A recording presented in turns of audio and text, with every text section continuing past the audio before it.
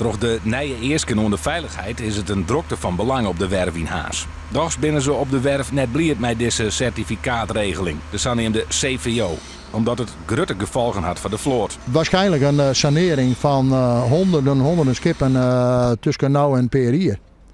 Dat is, dat, dat, dat is wel vrij duidelijk dat, dat dat de consequentie nou is.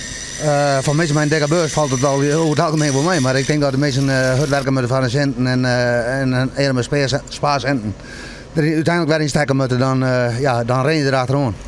Nou ja, ik vind de bureaucratie, lekker het zo zeggen. Het gevolg van die bureaucratie is wel dat er een protte te dwaan is op de werf. Als Smit voor u wel extra werk op, ja natuurlijk. Maar ik bedoel, wij, wij hebben er niks over te zeggen. Ik bedoel, Noord die betekent het. Dus uiteindelijk komt het ook wel weer kleer.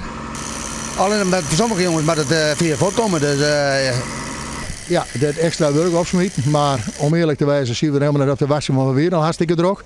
En uh, op een lange termijn is het helemaal net positief.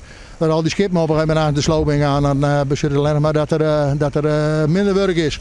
Plus de weren van, die, van, van al die skippen die donderen in elkaar. En dat is op een gegeven moment voor de sector ook helemaal niet goed.